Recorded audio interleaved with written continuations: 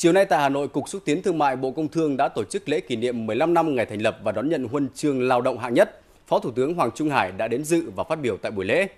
Phát biểu tại buổi lễ, Phó Thủ tướng Hoàng Trung Hải đã biểu dương các thế hệ lãnh đạo công nhân viên Cục xúc tiến thương mại vì những thành tích đã đạt được trong 15 năm qua, góp phần phát triển kinh tế và hội nhập ngày càng sâu rộng của đất nước. Thay mặt Chính phủ, Phó Thủ tướng Hoàng Trung Hải đã trao huân chương lao động hạng nhất cho Cục xúc tiến thương mại Bộ Công Thương. Trải qua 15 năm xây dựng và trưởng thành, Cục xúc tiến thương mại đã từng bước khẳng định vai trò nòng cốt và đầu tàu trong công tác xúc tiến thương mại, thúc đẩy xuất khẩu, mở rộng, phát triển thị trường trong và ngoài nước. Các chương trình đưa hàng Việt chất lượng cao về nông thôn đã được đẩy mạnh, góp phần nâng cao đời sống của nhân dân và phát triển kinh tế xã hội.